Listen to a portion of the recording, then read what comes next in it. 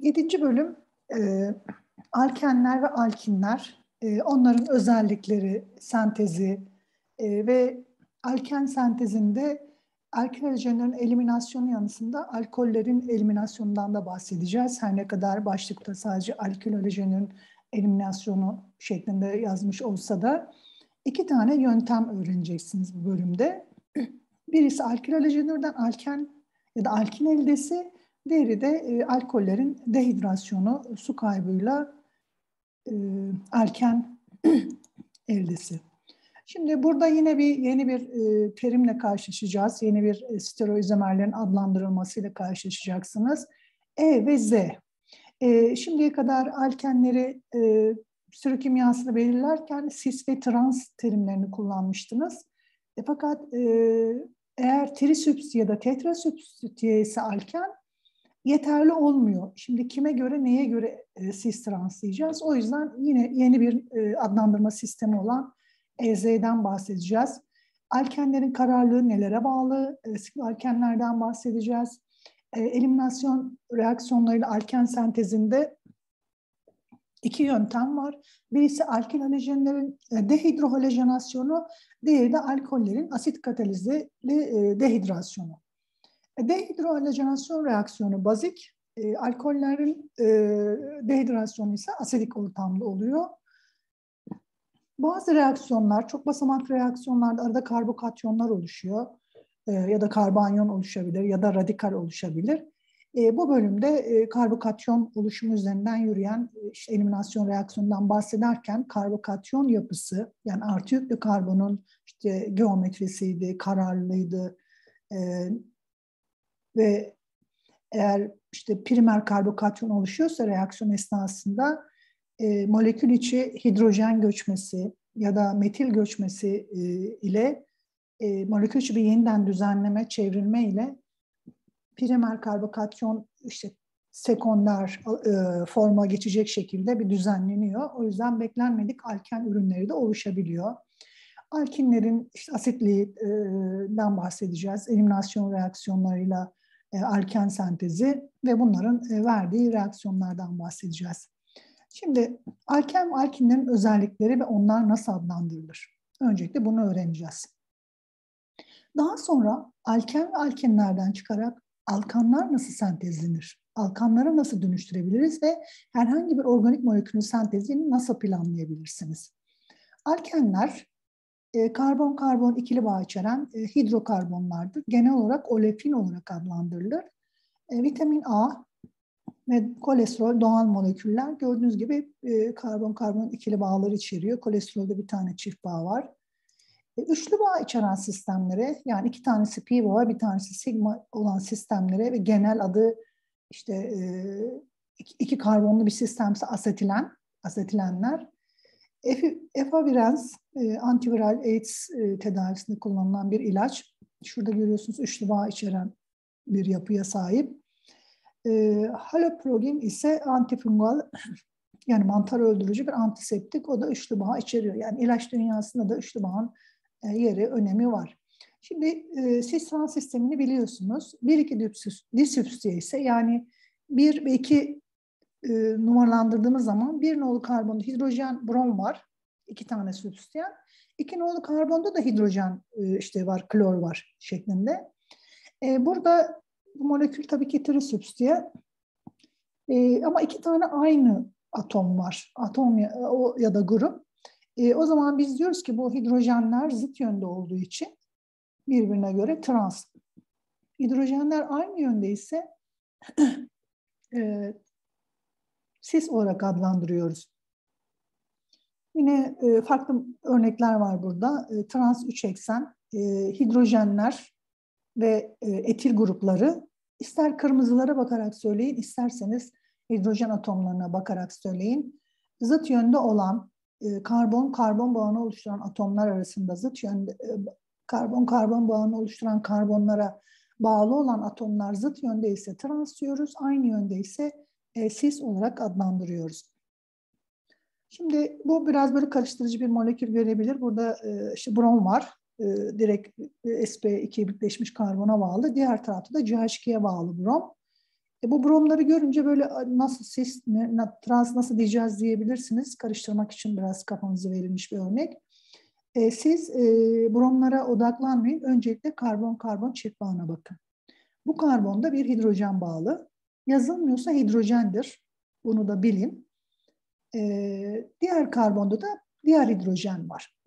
Şimdi bunlar zaten e, CH2 ve brom zıt yönde. O zaman hidrojenler de zıt yönde. O yüzden trans e, olarak adlandırıyoruz. Trans birişli bromo propen.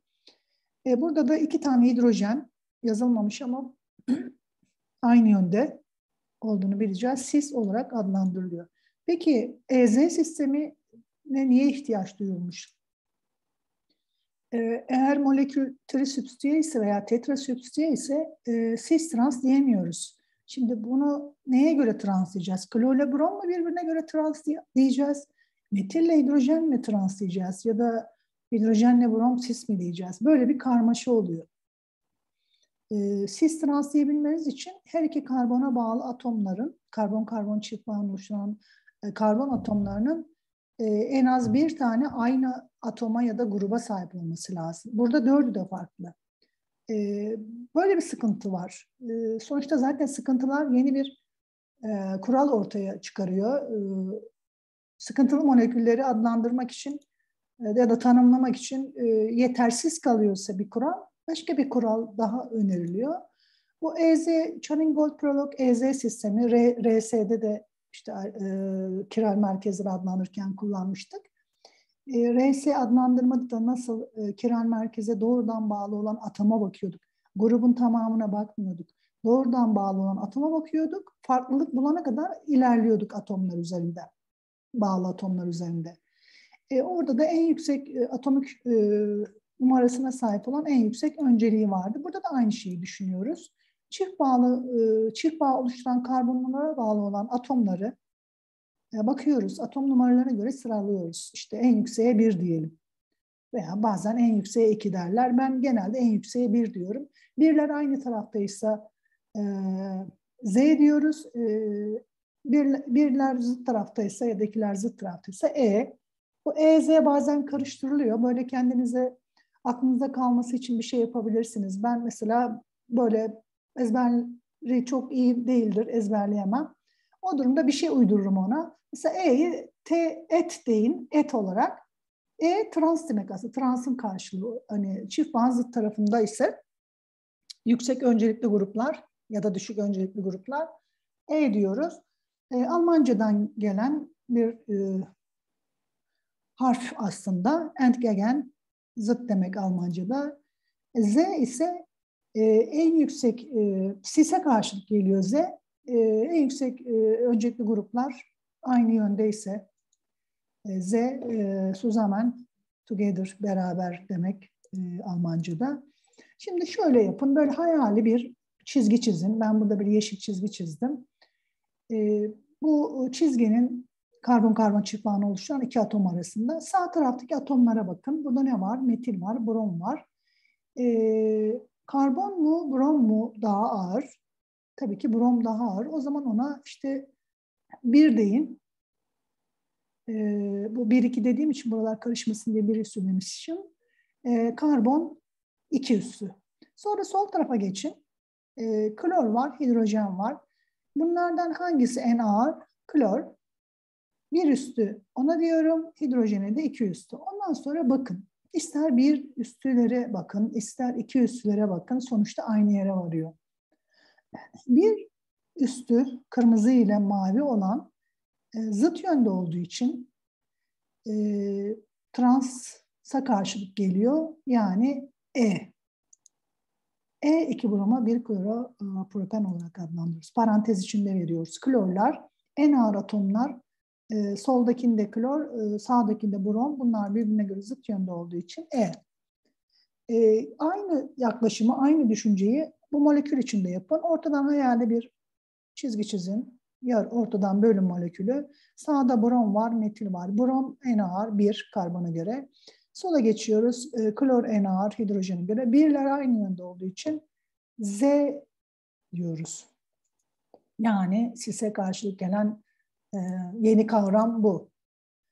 Molekül büyüdükçe kafanız karışabilir. E, molekülün tamamına bakmamanız lazım. Bazen e, küçük bir noktaya odaklanmanız gerekiyor. Fonksiyonel gruba odaklanmanız gerekiyor. Önemli olan fonksiyonel gruba odaklanmanız gerekiyor. Size bu molekülleri e, adlandırın, işte EZ notasyonuna göre adlandırın diye bir soru sorulduğu zaman sadece karbon-karbon çift odaklanacaksınız. O bağı ortadan böyle bir çizgiyle bölün. Çift bağ oluşturan iki karbona bağlı olan grupları sonra analiz edin. Sağdakinde metil, şey brom var, bir de karbon var. Brom tabii ki daha ağır. O zaman buna bir diyelim. Bir üstü diyelim. Şimdi çok birler karışacak. E, karbon 2 diyelim. E, sol tarafa geçiyoruz. Sol tarafta e, karbon var. Burada da karbon var. Şimdi hatırlarsanız RS notasyonunda ne yapıyorduk? Doğrudan bağlı atom e, aynı mı, farklı mı? E, buna burada ikisinde de aynı. O zaman ne yapıyoruz? Buna ne bağlı diyoruz. Buradaki 5 nolu karbona ne bağlı? Bir karbon bağlı, iki tane de hidrojen. Hemen bunu yazıyoruz. Sonra diğer e, tersiyer bütül grubuna geçiyoruz. Tersiyer bütül grubunda karbona 1, 2, 3 tane karbon bağlı. Dolayısıyla bu daha ağır. E, buna da bir üstü dediğimiz zaman e, iki tane bir üstü brom ve tersiyer bütül aynı yönde olduğu için bunu Z olarak adlandırıyoruz notasyonda. E, cis ve trans alkenler aynı kararlığa sahip değil. Doğada trans olarak bulunuyorlar. E, sis'e çevirebilirsiniz. İşte uygun e, fotokimyasal e, belli bir dalga boyunda ışık vererek karanlıkta yapmanız lazım bu deneyi. Işık gördüğü zaman tekrar transa döner. Ee, sebebi de tabii ki sterik etki e, itişme. İnsanlarda olduğu gibi herkes ferah ferah yaşamak istiyor. Bunlarda da öyle. Siste iki tane R grubu yan yana olduğu için bunlar e, sterik etkiye sebep oluyor. E, ve kararsızlığa neden oluyor. Enerjisi daha yüksek olur. E, transta ise iki R grubu birbirinden olabildiğince uzak olduğu için e, sterik etki e, ka, ortadan kalkıyor ve bu nedenle daha düşük e, enerjili oluyor, daha kararlı. E, sebebi bu. Sterik etkiden kararlı. Sis e, az kararlı, en çok kararlı, en kararlı, pardon en çok değil, en kararlı iki molekülü karşılaştırıyoruz sonuçta.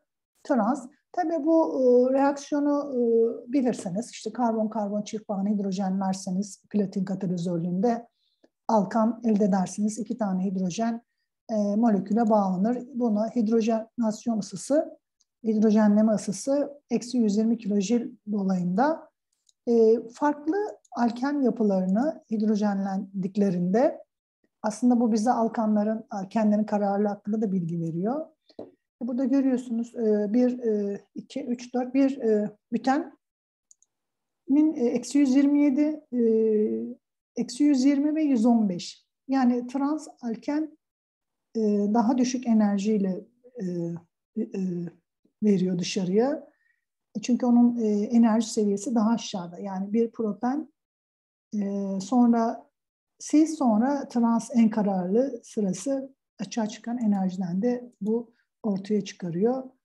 E, X farklarına baktığımız zaman e, trans sistem 5 kilojül daha kararlı, e, trans e, 1-2 e, büten ise sis 1-2 büten ise e, 1 büten 1 2 2 büten ise e, 7 kilojül bir e, bütenden daha kararlı. E, alkenlerin kararlılığını etki eden faktör cis trans olmasının dışında e, bağlı olan e, alki gruplarının sayısı. Bir alken çift bağ, alken çift bağ oluşturan e, karbonlar ne kadar çok sübstitüye ise, ne kadar çok grup bağlı ise o kadar kararlı.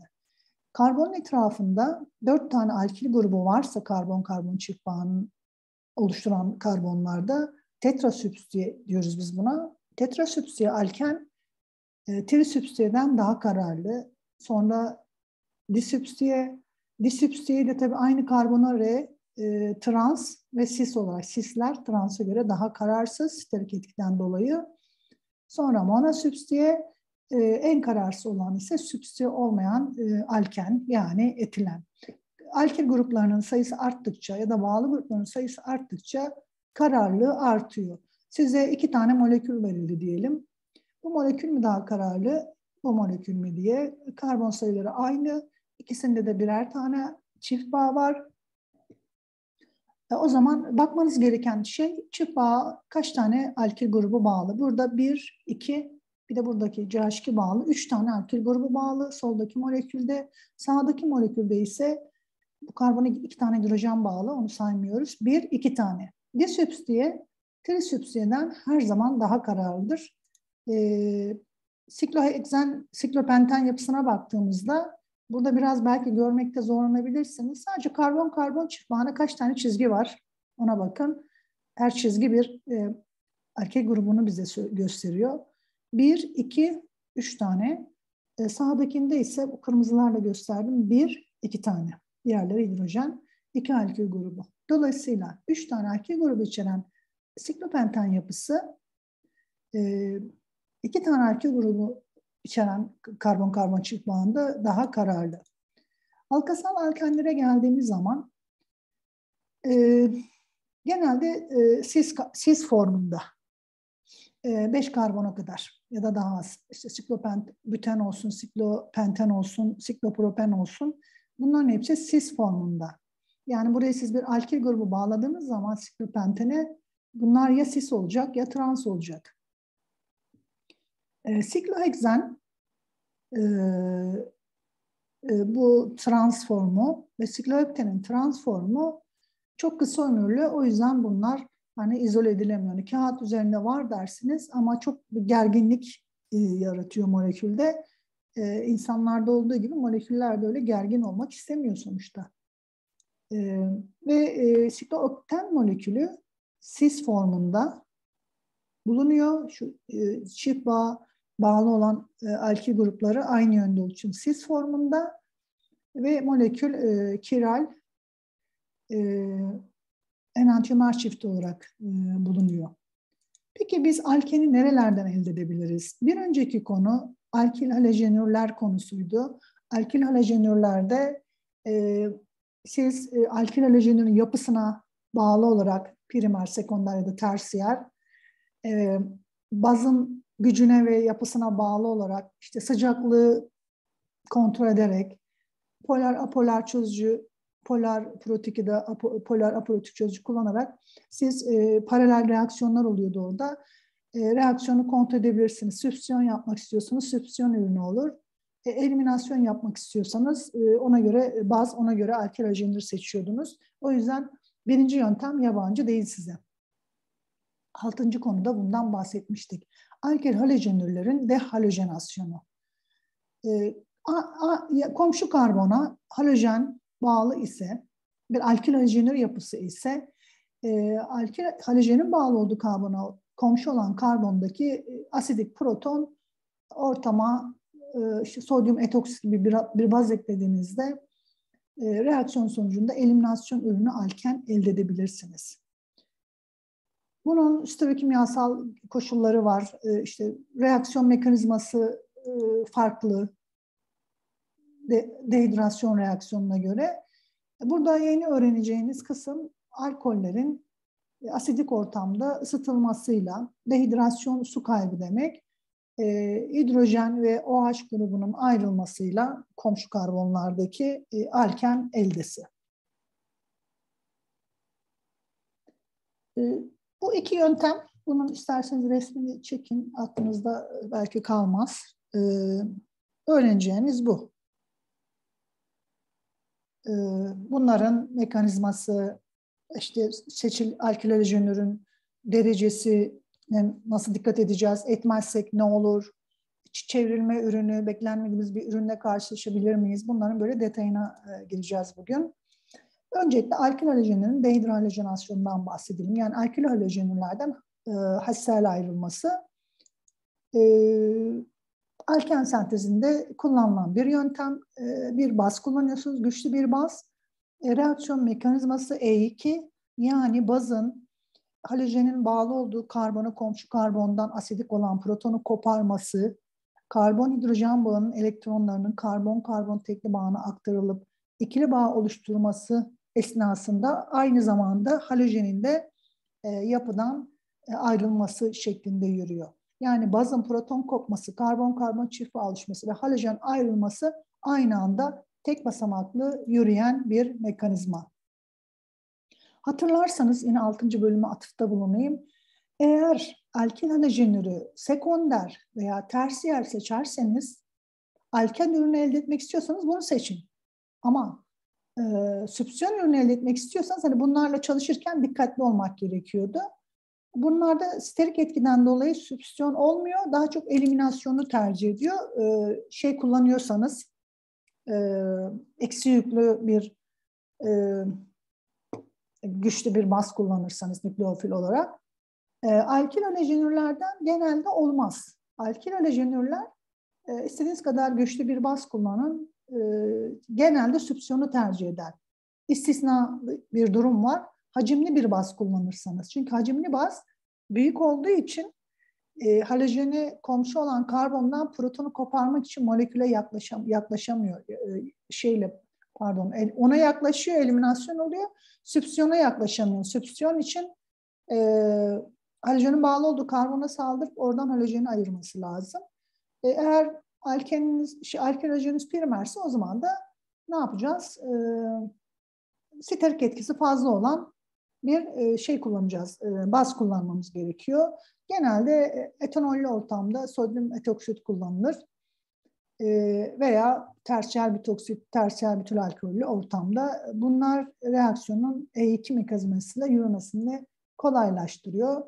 Ya da eliminasyon olsun diye ısrar ediyorsanız, isteğiniz buysa yüksek sıcaklıkta deney yapıyorsunuz. Çünkü yüksek sıcaklıkta daha çok eliminasyon ürünü gerçekleşiyor.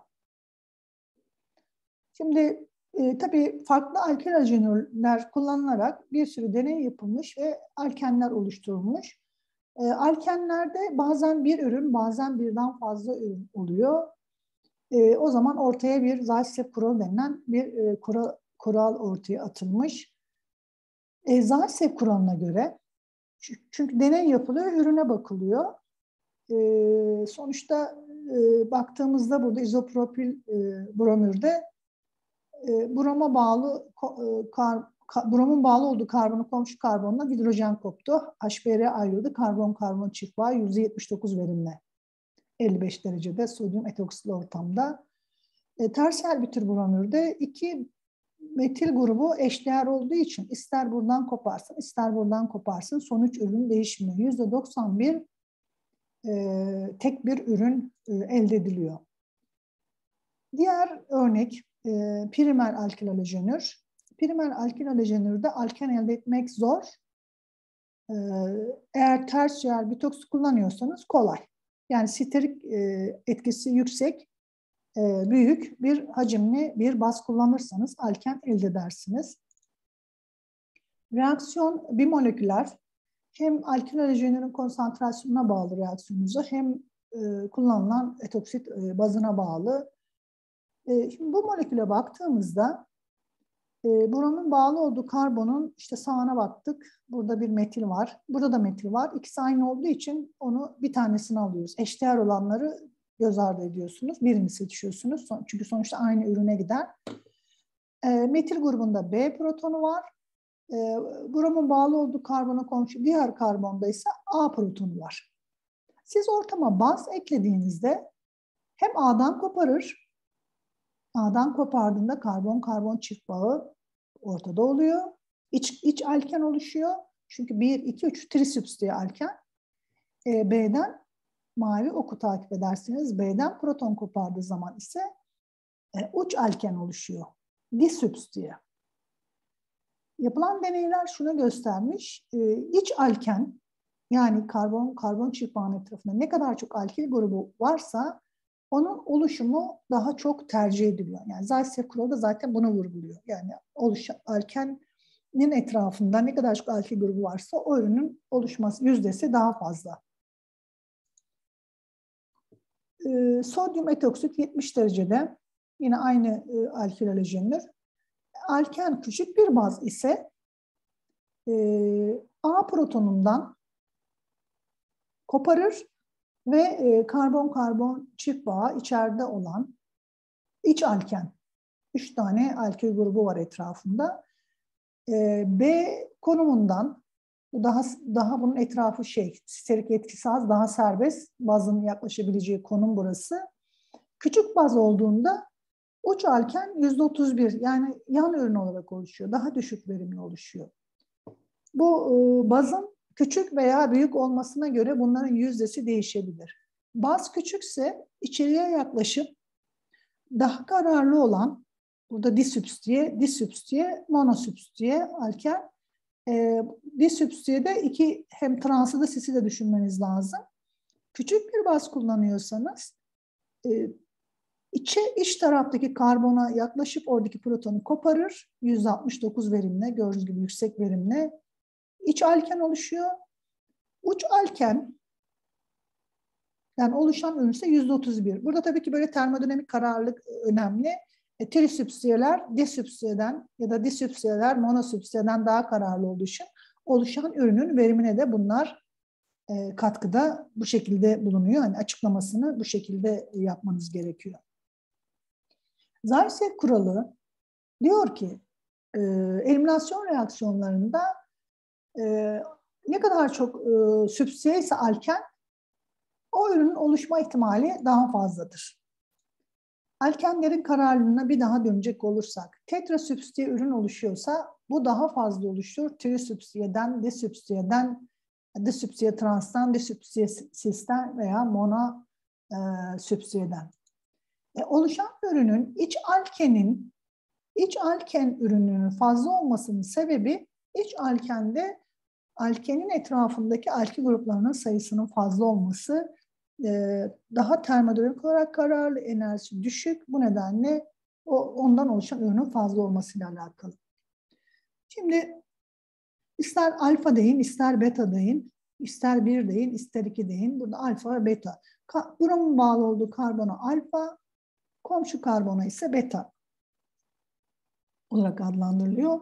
E2 mekanizmasında beta karbondaki asidik proton koparılıyor. CH bağı elektronlarını C alfa, C beta bağını aktarıyor.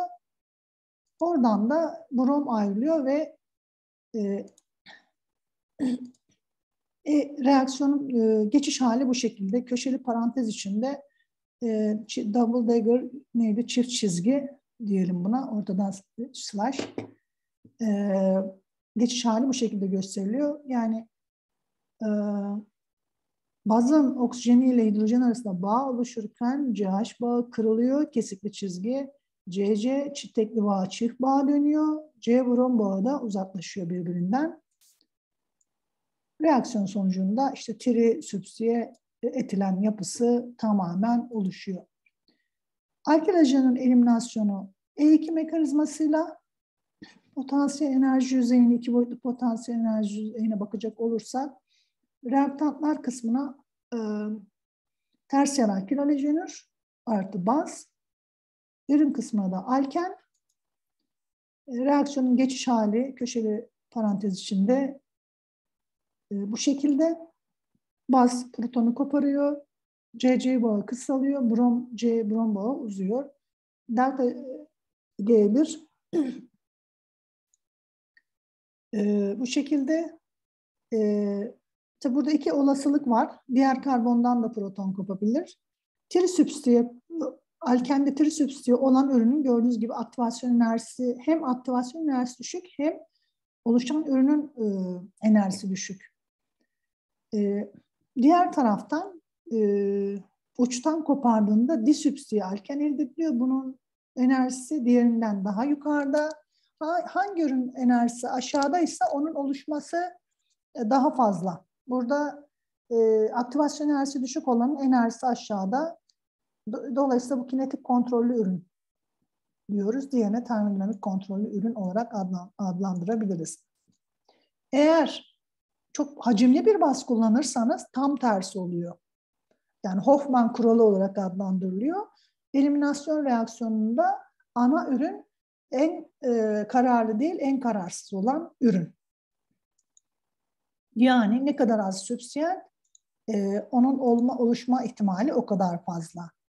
Yine bir sekonder alkil buranır görüyorsunuz. E, şu pembedeki proton kopabilir. Uç alken elde edilir. CC yüzde yirmi. E, veya mavi protonlardan birisi koparılır. İç alken elde edilir. Yüzde seksen verimle. Eğer etoksit gibi küçük bir baz kullanırsanız iç alken ana ürün, tersiyer bitoksit gibi büyük bir baz kullanırsanız yine aynı protonların kopması söz konusu. Pembe koptuğu zaman %70 uç alken e, ki bu monosübstiye maviden proton koptuğu zaman iç alken %30. Gördüğünüz gibi oranlar tersine döndü. Siz bazı değiştirerek e, istediğiniz e, ürünün yüzdesini arttırabilirsiniz.